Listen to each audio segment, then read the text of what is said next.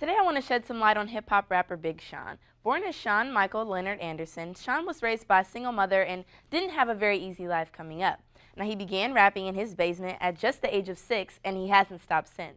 Sean did rap battles at various different radio stations trying to get his name known in the business. In 2005, Kanye West discovered the young artist, and in 2007, West made a special attempt to see him battle at a Detroit hip-hop radio station and signed him on the spot. Now, Sean produced multiple mixtapes but didn't release his first album until 2011 titled Finally Famous. With three number one singles, the album sold nearly 90,000 copies within the first week.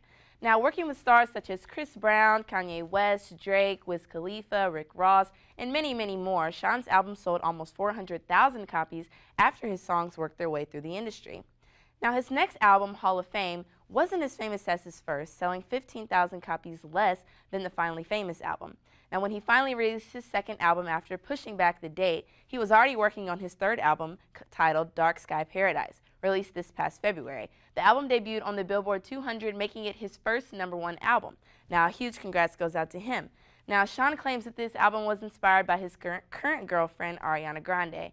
Now, the album has already sold over a million records and counting. Big Sean is on his way to a very successful career, and people definitely shouldn't sleep on him. He is a very dedicated musician, and everyone should make sure that they look out for his album. That's all from me. Back to our host.